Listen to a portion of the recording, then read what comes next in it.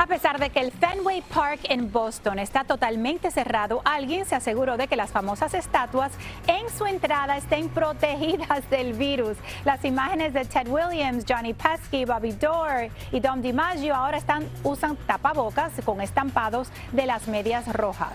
Aunque no están practicando el distanciamiento social, al menos están siguiendo las instrucciones.